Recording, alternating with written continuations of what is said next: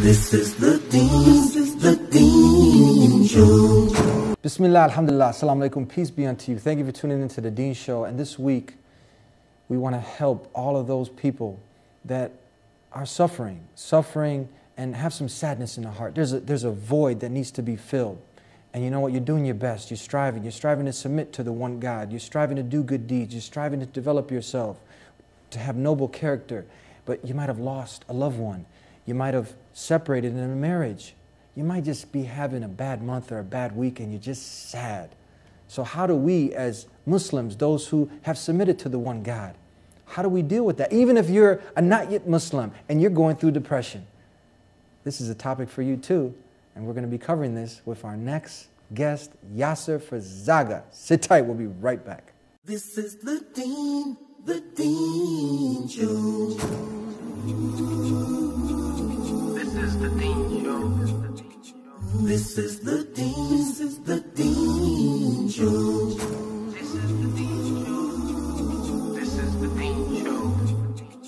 This is the Deen, this is the Show.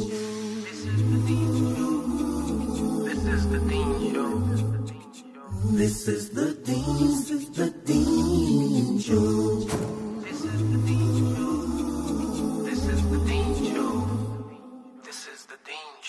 Assalamu alaikum, peace be with you. Walaikum salam wa rahmatullahi wa barakatuh. How are you, Shaykh? I'm doing good, alhamdulillah. How are you, Eddie? Good, alhamdulillah. All thanks is the creator of the heavens and the earth who's given us this ability to be here. I'm very thankful. Time is short. So let's get right into the topic. I opened it, and you are the director of the Mental Health Institute. So you deal a lot with people coming in and having a bad day, having a bad month, having a bad year, and they're depressed. Mm-hmm. Is this right? That is very right. And again, I really have to thank you, Eddie, for bringing up these topics. These are real issues that people have to go through every single day. And actually, the Quran makes it very clear that by the mere fact that we are humans, we are going to face challenges in our lives. We don't get to choose the timing of the challenge, we don't get to choose the nature of the challenge or where it may happen. But the fact remains, and that is, we will face some challenge in our lives. That challenge may be us, our wealth, our health. It may be our loved ones, those who are around us. And again, with these challenges, it's not just the loss, but also it is the impact that the loss may have upon us. And like you said, you know, depression just happens to be one of these challenges that may face us as humans. Now, keep in mind that um, depression is not necessarily a character weakness. People would deem depression to be, um, oh, come on, just trying, you know, to shake people out of it, um, you know, and they would give you that pep talk. When the going gets tough, the tough get going. Yeah. Or hard times don't last, but tough people do. Well, these are beautiful words, but they really do not eliminate depression. So depression is not seen as a personal weakness of the individual. So please, if you know anybody that is depressed out there, make sure that you do not attribute depression to their weakness because it's not. Depression also is not the result of weak faith. And that is something that we hear amongst religious groups, and that is, oh, the person's faith in God is not that strong. That is why they are depressed. And that is not real. What it really is, is that at this point, the pain that you are going through is so overwhelming, and you do not have enough tools to deal with the pain. So you go into depression. That's basically, in simple words, that is really what it means. So appreciate that you bringing up this topic, but it's also very important that we know how to characterize it the right way so that we become a source of empowerment to those who are around us rather than a source of depression to those who are already um, depressed. So I really appreciate you bringing up this, um, this topic. Not only that, but also this idea that religious people are not necessarily um, what we call uh, inherently protected from becoming depressed simply because they are religious. Reality is um, depression is something that you know it, it, it, it, it crosses all uh, bounds and all you know socioeconomic, um, ethnic, um, religious. Uh, none of that matters. We're all prone to it. Now, what Islam promises is this: Islam does not say that because you are a Muslim you will never be depressed. Islam says that because you are a Muslim, you have access to the tools that Islam gives you. If you're depressed, it will prevent you from going into despair. So religion prevents despair, it does not prevent, inherently, it does not prevent depression. That's a key right there. So being depressed is a part of the natural, just consequence of being a human being? And not only that, but if we are not depressed, there is really something wrong. I mean, chances are we will be depressed someday. It will be a minor depression, it may be major depression, but definitely we will have the blues, you know, The where we'll have one day we're just not feeling well, we're down. So that is, that is human. And we embrace this. We don't try to rush ourselves out, out of it. But remember, it's not depression that bothers us. It is the consequences of depression. How people choose to cope with depression. What people and who people become as a result of depression.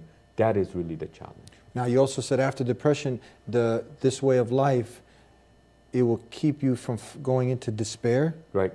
Because what happens when you go into despair then? Uh, that's when people go into suicide. Uh-huh. That is, people want or go on to it's not worth living anymore. That is when people literally give up and they give up on life.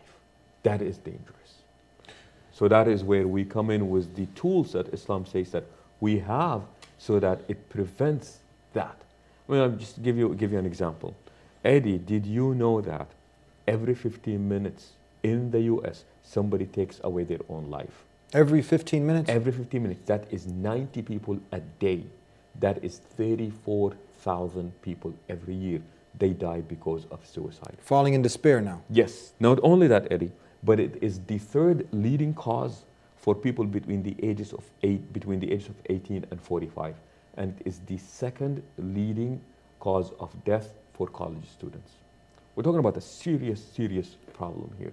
It's not just the depression that is serious; it is the consequences, how people cope and how people deal with depression that is problematic mm-hmm. people who go into alcohol thinking that this is going to make them you know forget about their problems that is something that started with depression but now the coping mechanism the coping skills that the person has acquired are so poor that depression is no longer the problem it is the way that they're dealing with depression people who go into um, uh, smoking especially nowadays smoking pot is so unbelievably popular because that is the only way that a person has learned how to cope with their depression. And that is really sad. So, what we're after here is to be depressed is human, to go into despair is unacceptable. So, it is helping the individuals who are going through these tough times, you know, deal with the depression, getting out of it, but at the same time, we don't want them to go into despair as well. Usually, like when you get hurt, okay, you, you, you get a band aid on the scar, it takes a few days, maybe a week, you broke a bone, it takes a little bit longer, but the emotional scars sometimes can take even longer than the physical scars. But is there, you being an expert in this area, is there approximately about a time if you, you know, uh, in a way, these tools you mentioned, that if you deal with it, it maybe take a month, six months, how long does it or is there even such a thing that approximately you'll feel this, this depression, emptiness, and before it goes away? Yeah. Well, a person is considered to be clinically depressed if they have had uh, six of nine symptoms. And just very quickly, feeling fatigue, a sense of hopelessness, uh, losing interest, uh, seeking isolation, thinking about uh, death, a person not finding pleasure in pleasurable things that they have done in the past, a person feeling down most of the day, very little tolerance for irritants, uh, the whole idea of uh, feeling down. Um, so if you have had this for two weeks, then you are considered to be clinically depressed.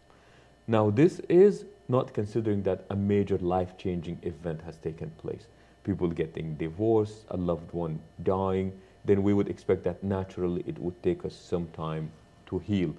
But if you are depressed and you have been there for a while, then two weeks would be, you know, anything less than two weeks would be normal. More than two weeks, it would be clinically, you are defined as clinically depressed. Let's take a break and we'll be right back with more here on The Deen Show. Do not kill a woman. Do not kill a child. Do not. you know, going to different religious leaders, Buddhism, Hinduism, uh, forms of Christianity, I even ran into people from the Nation of Islam. kill an old man. Do not kill an animal. Do not cut a tree down. Do not pollute their water. Do not burn their homes. Back here on the Deen Show with Sheikh Yasir Fazaga, we're talking about depression, and we want people to understand. Okay, this is normal, but when you fall into what were you talking about now? Desperation, or what was the other word? The poor coping mechanism to despair or poor despair. Okay, when you fall into despair, that can be a problem, leading to suicide and things that are, you know, taking the wrong course now. But tell us, okay, so a broken bone, doctor can tell you, okay, in, in six months you'll be healed. You mentioned two weeks before we went to the break. Uh, and then you're, you're clinically diagnosed as, as uh, depressed. Right. So how is it? So from here, after you, you've been depressed for two weeks, I mean, w- talk to us more. Is there like after two months that it gets you're labeled something else, or should it go away after two months? Uh, But do you have to be doing something? These tools you mentioned, what are the tools, and uh, do you have to implement them? How do you implement them? Or otherwise, you're depressed for two years. Yep. See, think about depression like falling into a hole, Eddie. Okay, and this is for the viewers as well. But that hole is not stagnant. The hole is either getting deeper or you're trying to crawl out of it. And the longer that we stay in that hole, the deeper it gets. But also, the deeper it gets, the more difficult it gets to get out of it, mm-hmm. and the more hopeless we become as as a result. So usually what we want to see is that once a person recognizes this, that they're depressed, and we usually do, and then again, you know, depending on the severity of it. So we would say that a person is depressed. It's either, you know, minor depression, it is, or it's mild, they would call it. It's either moderate or it is severe. And when it gets severe, we're talking a person being negligent of their personal hygiene. For example, they don't go to work anymore.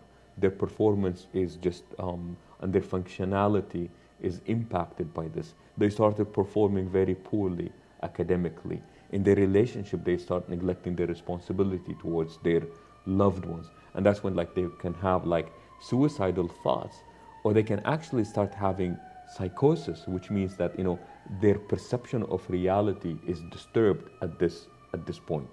So what we are looking at is we want to make sure that the minute we notice it, then we want to make sure that we take early prevention.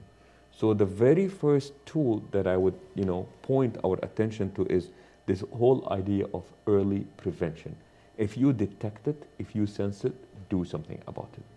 And basically, because depression is all about doing nothing, it's just people idling, and you know there is really nothing happening. The very first thing that we want to do is actually begin by doing something. Doing something as opposed to doing nothing. Exactly.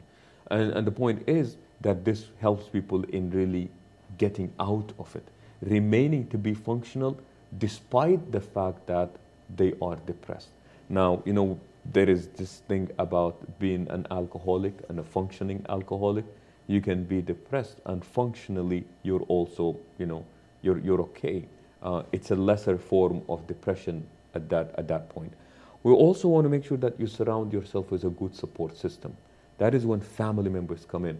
That is when friends come in. You know, you're talking about uh, people who have committed suicide. Okay, they say that about 80% of the people before they, you know, before they completed their suicide, they called a loved one. They called a loved one. Okay, there was this story about um, this young man. Uh, he was determined in San Francisco that he was going to go to the Golden Gate Bridge and that he was going to throw himself down unless somebody asks about him. So he said that he actually made it to the Golden Gate Bridge, and he said that a couple came and they handed uh, him a camera and asked if he can take their photo. He Wow. said, I took their photo, but they did not ask how I was doing. So he threw himself down, but he did not die, and that's how we know the story.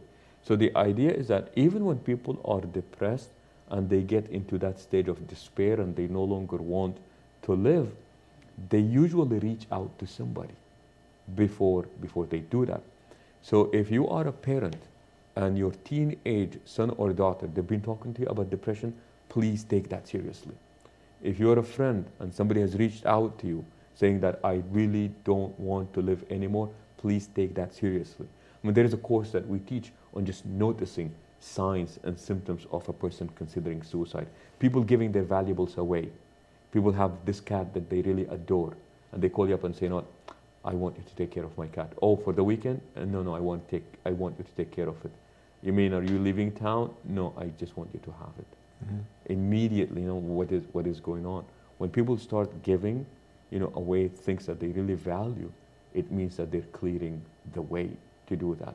So this support system, you know, and don't be afraid of asking people, you know what, you're very depressed. You know, I'm really afraid for you. And do not be afraid of using the word suicide. Are you considering suicide? Don't shy away from using, uh, from using the word. You're normalizing it at that, at that point. So it will be it will be these things, you know, the support systems, and then there's just the proper tools. Having access to a professional is definitely a tool that we want you to uh, employ. And remember, because you're seeing a therapist or you're seeing a psychiatrist, it does not mean that it, you are weak because you are unable to do it on your on your own. It does not mean that you're crazy. It does not mean that you are um, insane. And I know that you know therapists don't really fare well in uh, society nowadays, especially if you're a psychiatrist. People are talking about you visiting a shrink, and so so there is that stigma that that um, that comes um, that comes with it. But just get to know as many tools as as possible, and you know we've mentioned three of them here um, so far. So don't be alone. Talk to someone, get uh, attention for this matter right away. Yes, an early early detection, early prevention is usually the way to go with it. Talk to us about some other things that a person can do, you know, to get more optimistic on the optimistic side and to get away from, you know, falling into despair. They lost, let's say they just got divorced or, you know, the person lost their children. You know, some things, other things that you recommend that they do. Yeah. One great tool that we really like to do is something that we call uh, relabeling. And basically, what that is, is that you're not necessarily changing the facts of what happened, but just give it a different label, and that may actually make you feel better. So we can refer to somebody as either a rape victim or a rape survivor. We're not changing the facts. You know, something bad has really happened to this person, something terrible has happened to this person. But when I call them a victim, it's a downer. Yet when I use the word survivor, there's actually hope there. You're empowering the, the, um, the individual. So rather than saying that I am weak, for example, let's say when you're depressed, say, no, I'm going through some difficult times at this point. And what that would do is that just the, the, the negative labeling of the self is removed away. And that actually helps us in keeping our own sense of goodness. Our self concept, our sense of self has not been distorted as a result of this negative label that we have applied to, our, um, to ourselves. Reaching out to friends, usually it's just the support system that is around us. You know, making sure that you are in good company. That will be such a great tool, assets. I mean, good friends, good friends are beautiful asset, you know, and, and, and that's why, you know, say that that's the best, you know, the most beautiful things in life are not things, it is relationships. And what better and more beautiful than a relationship that you can actually count on when you are so down than our friends. We're going to take a break and we'll be right back with more here on The Deen Show. I am not afraid to stand alone. I am not afraid to stand alone. If Allah's by my side, I am not afraid to stand alone. I am not afraid to stand alone. If Allah's by my side, I am not afraid to stand alone. I am not afraid to stand alone. If Allah's by my side, I am not afraid to stand alone.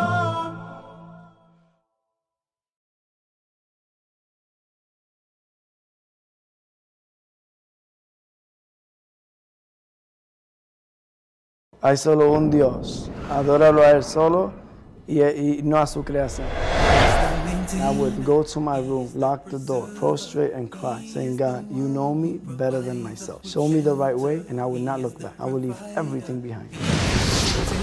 Allah is our creator and He creates everything and He gives intelligence to people. Rasulullah is Muhammad, peace be upon him. Muhammad is one of the last messengers sent from God. Back here on The Deen Show with Sheikh Yasir Fazaga. Now, in this way of life that we follow, the way of life of all the messengers of God, we're trying to live a righteous life according to God's wills, not our desires. Sometimes a person can get more depressed, feeling that, you know what, is this a punishment from God? Am I did I do something to displease God? Can a person sins also, you know, going away from, let's say, uh, the prayer, you know, establishing a relationship with the Creator? Can this also lead to depression? Or even on the flip side, if someone's doing these things, but then they fall into depression, they feel like, you know what, is God turned his back on me? And they get more depressed. Yeah, yeah. You know, here's what we say. Having the correct perception of who God is and knowing Him through His names and attributes and the beautiful qualities that He has told us about is just a cardinal, cardinal uh, component of having a healthy life. The other thing that you also want to keep in mind is if, if the higher the gap between where we actually are and our values and principles, meaning that if our values and principles are up here and our actions are down here, this is too high of a gap. Mm-hmm. That is an invitation to misery. We're actually happiest when there is harmony between what we believe, what our principles are, what our values are, and then our actions are actually a testimony to what we believe and what we value and what our principles are. So, what we want to do is close this gap as much as possible, and that is harmony.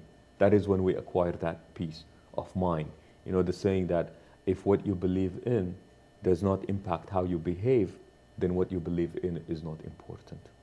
So, how can you say that God is merciful, yet you have this um, perception of Him? Saying that God opens the doors and He is the dispenser of grace, yet you say that.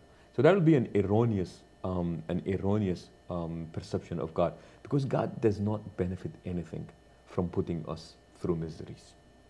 That will not be uh, acceptable. Does prayer, does um, getting close to God help? It definitely does. And that is why many times, actually, a therapist would refer clients for some spiritual healing. You know, they would say, Fine, I want you to take your medication, take your antidepressants or anti anxiety pills. I want you to come to counseling so that we make sense out of it. But you know what? I think spiritual healing will also be helpful to you. So you see a lot of people being sent to their rabbi, to their pastor, to the imams. And the point is, is spirituality can actually add meaning and give explanation to what the person is going through, as well as the idea of instilling hope because of their belief in God. That can also be a very important component of you know gaining back our emotional health. Now, before we close, just uh, a few more points that I, I want to cover. Now, there's a person who is, who's living more of a life according to this way of life, according to the game plan. Will that person be less inclined towards depression? Look, um, here is the thing. Um, what that's really about what causes depression. Yeah. So it could be the genetics. It could be bi- biological factors. It could be environmental. It could be just the the person's own susceptibility to fall into depression. So you may really be praying and what have you, but then you lose a child. Mm-hmm. So naturally you would be. You That's would just be natural depressed. now. You feel that. You shouldn't feel guilty about it. you get divorced. Yeah. So naturally, you would feel that mm-hmm. because you are religious, like we said. Religion does not inherently prevent depression. Religion gives you enough tools to prevent you from going into despair. the tools so you can do the job when the depression kicks in you got the tools to help you get out of the depression Exactly, exactly. but if you don't have the tools and the tools would you say the knowledge Or the, the tools would be, you know, uh, what we call about, you know, just the whole idea of being aware that the idea of optimism, because ah. optimism, believe it or not, is actually a learned behavior. Gotcha, We're not born optimistic. It's a mm. learned behavior. It's a mm. behavior that we actually learn. You know, attitude and perception, all these things. These would be proper tools that we can all learn. And the thing is, Eddie, and this is really interesting, um, each and every one of us, we have got like just enough well of treasure within us that we have not tapped into. So if you go to a good therapist, what that therapist would do, they won't really give you new tools, but they would tap into your own well of tools that you actually have, but you were not aware of.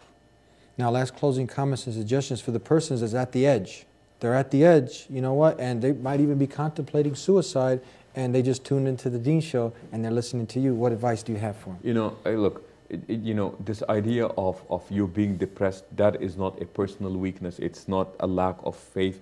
It is just what it is.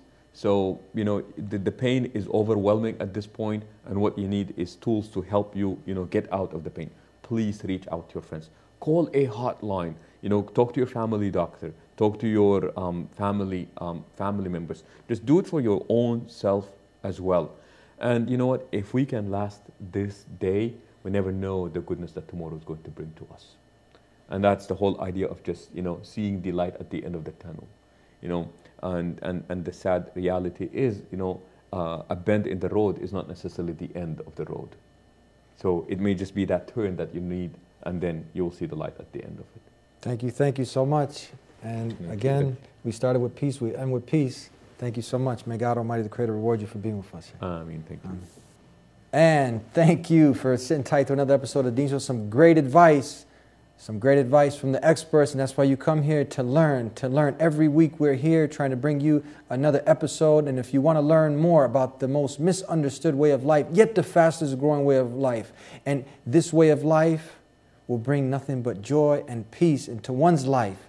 But you got to have the tools. And one of the first tools to start with, and you can get it for free, is by calling the 1 800 662 Islam number. That's the verbatim word of God. That's right, it's the Quran. So if you'd like to get your copy, give us a call today. And for any questions that you might have, even criticisms are welcome. We can start a healthy dialogue. That's right. And we'll see you next time here on the Deen Show. Until then, peace be unto you.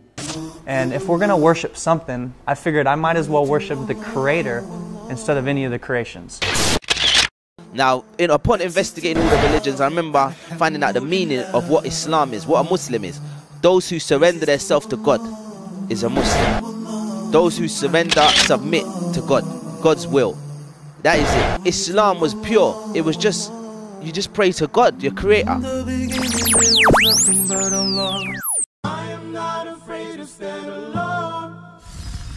I am not afraid to stand alone. If Allah's by my side, I am not afraid to stand alone.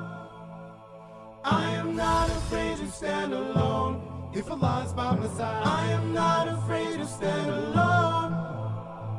I am not afraid to stand alone. If Allah's by my side, I am not afraid to stand alone.